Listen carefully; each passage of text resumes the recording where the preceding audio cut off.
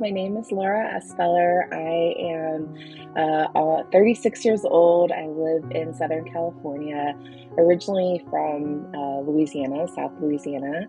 And um, I work full time in marketing in the gaming and hospitality industry. I was having symptoms of my kidney cancer at least probably two years before I was officially diagnosed. I had, you know, um, really horrible fatigue. I was actually going to my car in my lunch breaks to sleep because I like, you know, just was horribly fatigued. Um, I, you know, was having symptoms like my blood work was really off. My the company I worked for at the time made us do biometric screenings, and so I would go get my blood work done and there would be this like one level that I was like, what is this? Why is it off? And I actually had a doctor tell me, oh, if something was really wrong, it would be like hundreds off the charts, not like this much off the charts, which obviously if he was wrong, it there was something wrong, right? Um, and so and my blood pressure was high. And I talked to my primary care doctor and she said, Well, you have hypertension runs in your family. And I said, Well, I know, but I'm in my 20s. It's usually people in their 40s and 50s in my family that have had hypertension.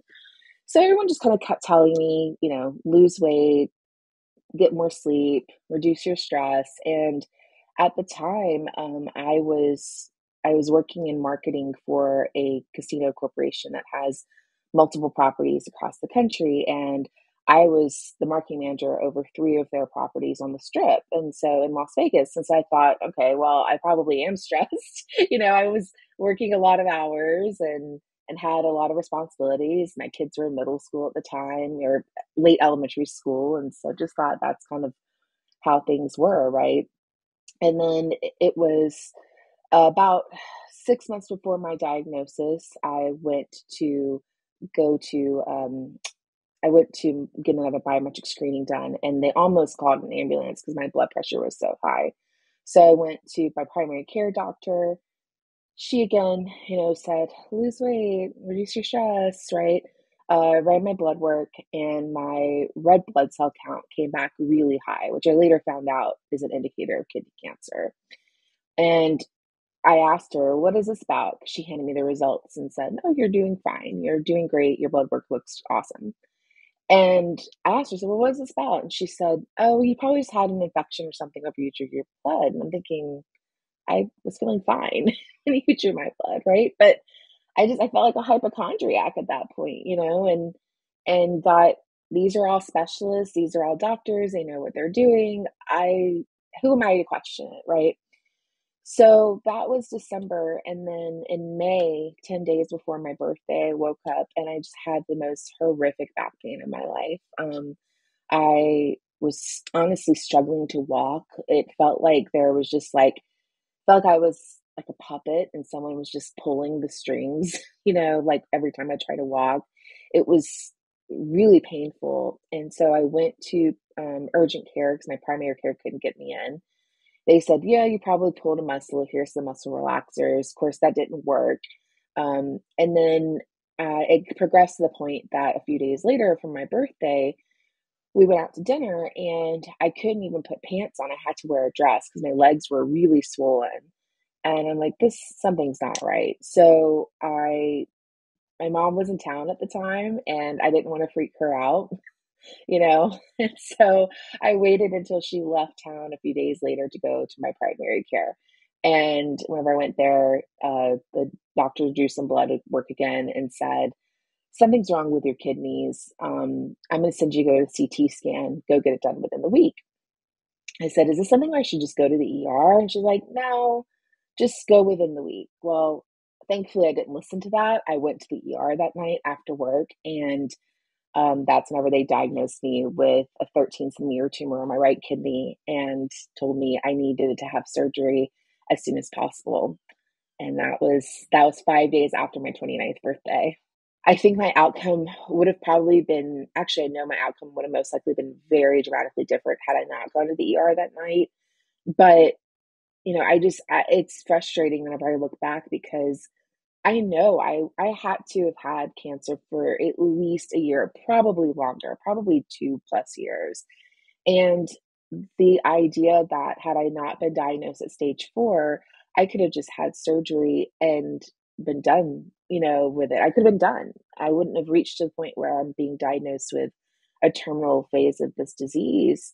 It's it's really heartbreaking and it's really frustrating, and unfortunately, I see it all the time with younger patients, you know, um, and I I get it. I actually went back and talked to my primary care doctor a few months after I was diagnosed. Obviously, I'd switched doctors at that point, but I went in and I talked to to her and the head of the clinic, and I said, "Look, I know that you will probably never see another case like mine again."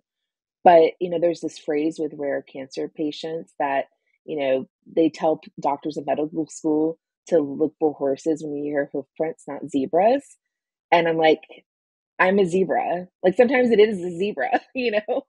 It may not always be a zebra, but there there sometimes it's a zebra, and I'm a zebra, you know? And I wish I wish that, you know I and I know that they felt horrible, like, I know I mean, my doctor was actually in tears, you know, whenever I'm telling her what happened. I know she felt horrible, and that wasn't my intention. I mean, it if I'm being honest, it probably would have been a few months before because I was so angry, right? But you know, I just I'm thinking, "Look, like, you're gonna go in and treat other patients, and again, you may never see another case like mine again, you probably won't, statistically speaking, but it doesn't mean that you're not gonna see other cases that aren't rare on their own, and I think that we are conditioned a lot of times, especially as women, unfortunately, to just, like, accept, "Okay, if you're telling me nothing's wrong, nothing's wrong, and I'm just gonna believe that."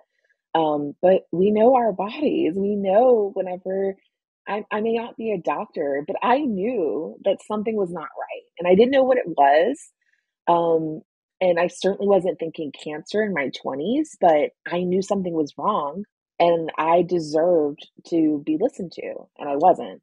And the ER doctor that gave me the diagnosis, uh, was incredibly compassionate and, you know, just walked in the room and said, "Look, you have a 13 centimeter tumor on your kidney, and you need to have surgery, um, pretty pretty quickly," and t actually told me to go to a specialty hospital, you know, um, not to just let any surgeon operate on me, which now now that I know so much more about my disease than I did at the time, I realize it's because it was a very complicated surgery they had to do. But, you know, I just was I think I just kind of shut down mentally after he said, "You have cancer," and I really struggled to process it, you know, I, um I almost felt for a minute there, like, if I said it out loud, it made it real, you know, which I mean, I'm a very logical person, but it it was hard to process, and so, um, I remember whenever we got home from the ER early the next morning 'cause I had been there all night I had to call my boss, like, it was one of the first things I had to do, right? Because, I mean, I'm working full time, this is a work day, I actually had a presentation that was due that I was supposed to be giving that day, and so I'm thinking, "Oh my gosh, I have to call my boss and tell him, like, I have cancer," and I actually, like, sat in my chair in my living room and, like,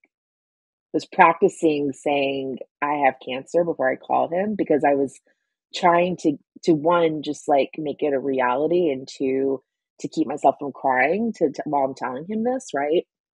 And, uh, it it just it just felt like a dream, like, it just like a bad dream, honestly, but it just it didn't even feel real, and there was a it was about a month in between my diagnosis and my surgery, and, uh, and I was in a I was in terrible pain that whole month, um, and I you know, I I I just wanted to sleep. I just wanted to sleep and just, you know, not not think about what was happening, and so I you know, it took me a while, even after my surgery, to to really come to terms with what was happening, and I remember distinctly, like, after my surgery, I was in ICU for, I think, about 5 days, and then they moved me to a regular room, and it was in the regular room that I finally was like, "I should probably look in my gown and see my scars," like, I hadn't even done that at that point. And even though I knew I'd had this very extensive surgery, like, I think that was the moment that it really hit me like, "Oh my god, my life is never gonna be the same again." Like, I knew that, you know, cognitively, but that was whenever I kind of emotionally processed, like, this isn't just I have surgery and I'm done with it and I move on with my life, like, this is forever going to be something that I am now identifying as, as a cancer patient and cancer survivor. Yeah, so, um, whenever I was diagnosed, I was incredibly fortunate. I know it sounds weird, but it's like it took forever for me to get diagnosed, but once I did, everything lined up into place, right? Um, my um, the ER doctor told me that he was going to he'd already actually contacted a local urologist in Las Vegas where I was living at the time, um, and that the urologist was going to help me get to either USC or UCLA, in California for surgery. The ER doctor was very adamant that I needed to go to California for surgery. And again, now realizing how extensive the tumor wasn't just 13 centimeters, which is very large for a, a tumor, especially kidney tumor, but it was blocking my um, vena cava, which is your your main artery that brings your your uh, blood back up to your heart from your legs and all, which is why my legs were so swollen. And so that's a life threatening condition, which I'm glad I didn't know at the time because I I I probably would have just completely shut down at that point. Um, but I realize now that's why he was so insistent that I needed to go to California for surgery. And so the next morning, we went to the uh, to the urologist in Vegas, and he said, "There's one surgeon in town who may be willing to take your case." Didn't like that, uh, but he said, "If you go to California, I'll get you in at US at UCLA." And I asked him, I said, "Well, what would you do if you were me?" And he said, "I actually was you seven years ago. I had kidney cancer. And if you go to UCLA, I will send you to the surgeon who operated on me. That's what I want.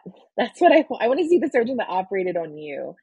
And so, sure enough, he did. He actually walked out of the uh, out of the exam room and called the surgeon on his cell phone and said, "I'm sending you a patient from Vegas." And so I got into UCLA. I um, they did a phenomenal job with my surgery. I was incredibly lucky. I had two amazing surgeons who, I mean, it was a five and a half hour surgery. And um, they removed my right kidney, my right adrenal gland, most of my inferior vena cava, and um, seven lymph nodes. And so they removed all that.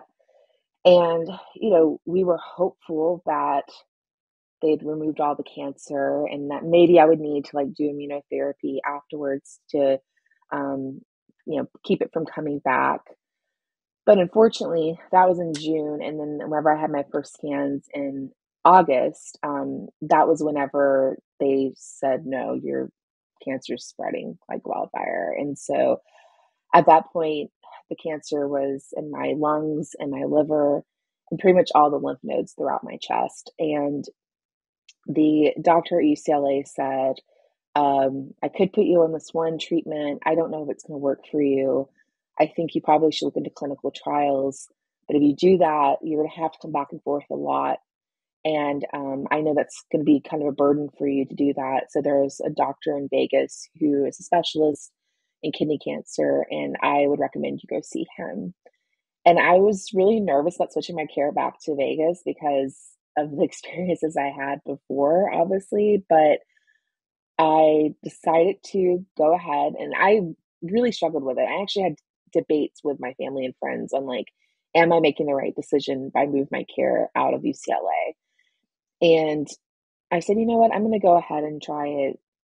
And I wound up so lucky. I had the most wonderful oncologist who, again, was a GU, a kidney cancer specialist uh, named Dr. Vogelzang. And he, from the first appointment, sat me down and said, Look, here's what you have. He explained to me, he was the first doctor to explain to me what specific type of kidney cancer I had, answered all of my questions, said, I have these treatment options lined up for you. They were all clinical trials because at the time there was no there was no standard of care for the type of kidney cancer I had. And so he said, look, they're all clinical trials. Here's the one I think is the best option for you. There were three other ones that he had lined up. And then he said, look, I even I'll even do chemo if I have to to just continue your life if we get to the point where nothing's working, which chemo isn't usually used for kidney cancer patients. But I was so young that he just was like, I'll do whatever I can to try to give you as much time as we can. So um, he explained the first trial and he said it's four different types of treatments. There's it's a randomized trial. I can't promise you which one that you'll get. We have no control over that. But there is one treatment on this trial that I think would be your best bet. And you know, he said, "Look, think about it. Let me know what you think in your next appointment, what you want to do." And I decided to join the clinical trial and I, I remember, and even now, people will say to me, Oh, that was so brave of you to choose a clinical trial. And I recognize now that it was a brave decision to do a clinical trial. And I'm really proud of my decision to do that. But at the time, it just felt like, what choice do I have? I have terrible choices to make. And, you know, and you're also in this situation where you're going, if I make the wrong decision, that's my life in the balance, right? That's how it felt. And so, but I just said, you know what? I remember having this conversation with a close friend because she said, you know, Laura, what, you know, are you going to do the clinical trial? Are you going to do the treatment that UCLA recommended? And I said, look, the doctor I met with in Vegas is saying he doesn't think the treatment that UCLA recommended is going to work for me. And let's be honest, I'm dying anyway. So maybe this is a Hail Mary. Maybe this will help me, you know, to to live a few years. My goal at the time was to see my kids graduate high school. I was like, maybe this will get me to at least see them to get to high school. Um, but if not, at least at least I'll be doing something that will help other patients not face this at some point. And so that's why I decided to do the trial. Sorry, I'm getting emotional just thinking about it. And so um, I decided to do the trial. And I remember whenever they randomized my treatment, my doctor said, Oh my gosh, you hit the jackpot. This is the drug I wanted you on. It was a drug called cabozantinib. Um, but it was a targeted therapy drug. And you know, I started it and I, you know, was just, I was, ter- I mean, I was terrified. And of course, my doctor explained the side effects, and I'm going, wait, what's gonna, what's gonna happen? You know, and but I, I mean, yeah, I was like, what what choice do I have? You know, I, I mean, I, I can't die now. Um, and I knew at that point, I knew that I, I had no more than a year. Um, there, there was, I would be lucky if I had another year. And so I, um, I actually pulled my kids out of school for my first day of taking my pills. Um, they needed a mental health day anyway. I'm sure like they had been, you know, watching me go through this all summer. And so I like, you know, brought them to this like little um this hotel outside of Vegas and they have a really nice pool and all and you know and and and then I'm sitting here thinking like, well gosh, this was probably dumb. Like what if I take the first pill and I have this terrible reaction and then my kids are, you know, even more scarred because mom had to go rushing to the ER, which thankfully didn't happen. You know, I I didn't want them to associate me taking the pills to be scary, right? Um, and I mean, they they knew how sick I was. Like, I don't think that they knew that I was dying, but like they knew how sick I was. And so, you know, I always I always think of that whenever I first started taking it. But um, but it was not a fun vacation. I always joke that, like, you know, uh, the short term for Cabo cabozantinib is uh, Cabo, and, and I think like, oh, it was no, it was no trip to Mexico. Let me tell you, um, you know, the side effects were, were were rough to say the least. And um, I think what's hard about whenever you are a cancer patient that you're doing, you know, um, one of these newer forms of treatments like targeted therapy or immunotherapy is you don't typically have the same outward um, side effects that people recognize whenever they think of cancer patients, right? Like I didn't lose my hair.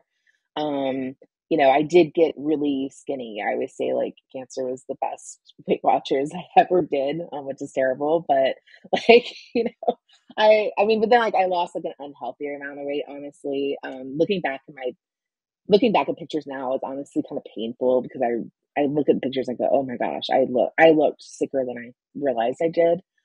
But you know, you just like I said, you you don't really always look like a cancer patient, you know, and so I think people, especially when I got back to work and all, they're like, "Oh, okay, you're you're doing great now, right?" I'm like, "No, I threw up three times before I left the house and had to like drag myself out of bed because I was so fatigued and you know, and like also, I mean, totally TMI, but these targeted therapy drugs actually create a lot of GI issues, a lot of GI issues, and you get like horrible diarrhea. And so, you know, it's like, I mean, I was standing in the grocery store aisle like about six months into my treatment, trying to pick out what adult diapers I was going to wear and had like a meltdown because of going like I'm 30 and I'm buying adult diapers. Like, you know, and and then I go to check out and thinking like, oh my gosh, this woman's gonna know, right? And she's she probably thought I was like buying it for a, a grandparent or a parent or something, you know. It,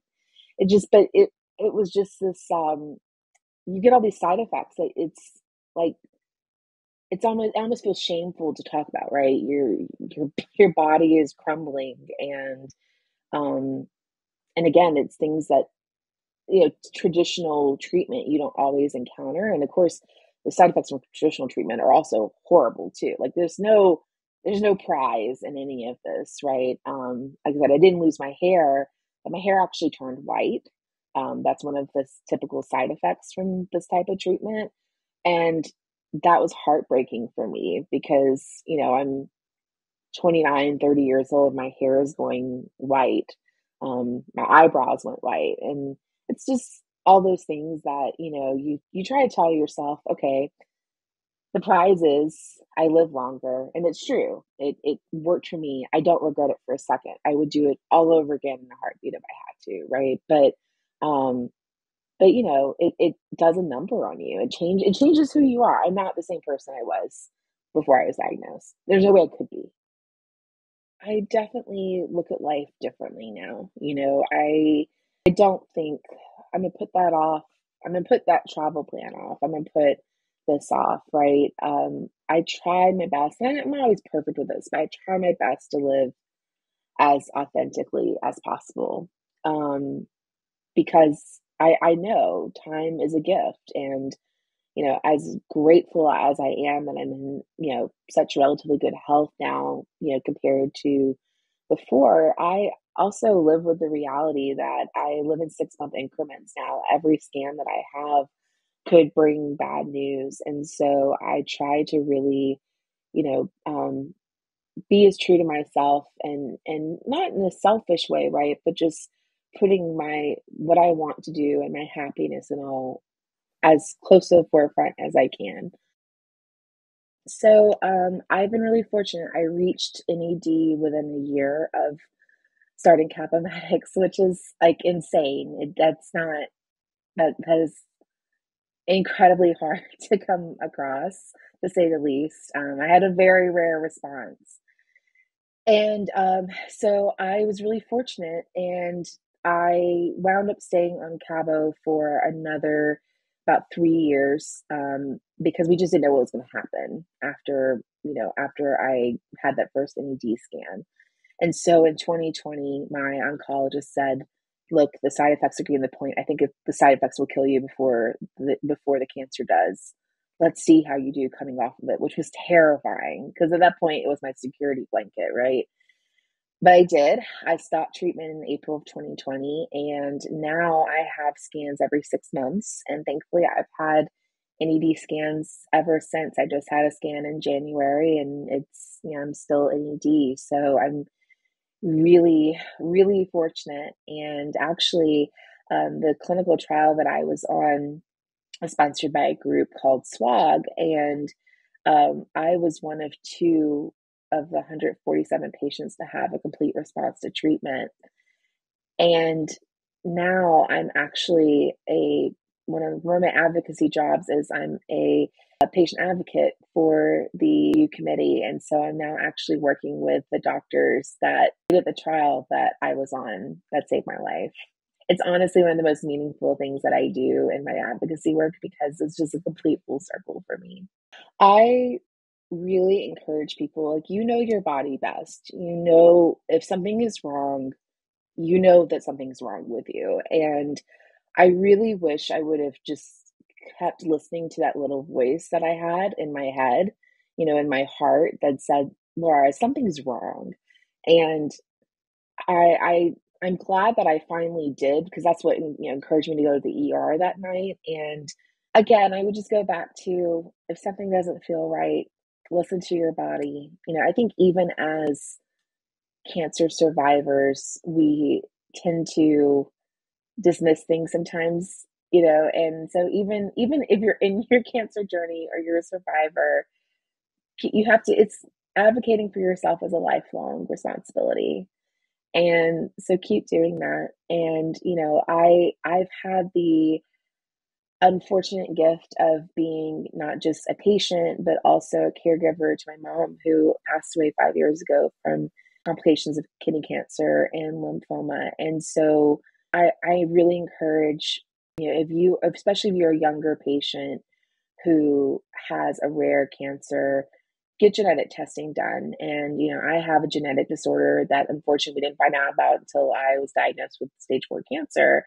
Um, and, you know, I, I encourage my family members, you know, ever since to get know, have the genetic testing done see a carrier for it as well. And so, you know, I always encourage um, anyone who has any kind of outliers in their health history that would indicate maybe they could benefit from genetic testing to do so because look i i know it's scary to have a genetic disorder diagnosed but man i wish i would have had the opportunity to know i had the disorder before i had cancer and um, and so you know knowledge is power in every sense of the word.